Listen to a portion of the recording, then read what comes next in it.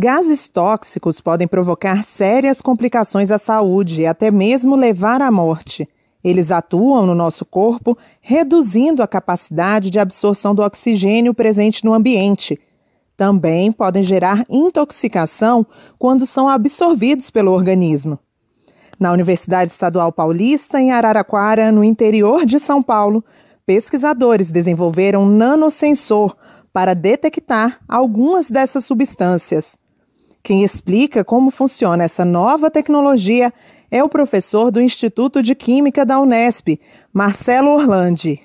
As nanofitas, elas interagem com os gases que tem no, no ambiente e quando tem essa interação com o dióxido de é, nitrogênio, ocorre uma diminuição na corrente elétrica que atravessa as fitas e medindo essa variação na corrente elétrica, a gente consegue saber identificar a presença do gás e pela quantitativa, né, pelo valor da corrente, a gente consegue também quantificar o número de moléculas de gás presente.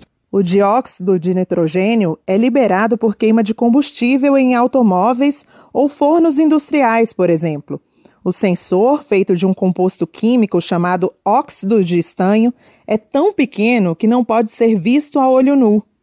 Reduzir o tamanho de dispositivos como esse traz uma vantagem importante, como conta o pesquisador. Outra questão a respeito da diminuição do tamanho dos dispositivos é que você tem menor consumo de energia, né? Então, no caso do sensor que a gente fez de uma única nanofita, então a gente tem nanowatt de potência dissipada e isso com certeza ter um equipamento, um dispositivo funcional com nanowatt de, de potência é muito importante porque parte de energia ela é uma da, dos maiores problemas que a humanidade vai precisar resolver no futuro.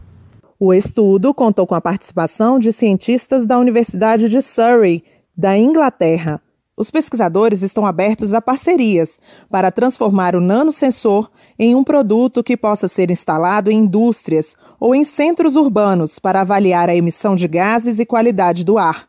Da Rádio Nacional em Brasília, Beatriz Evaristo.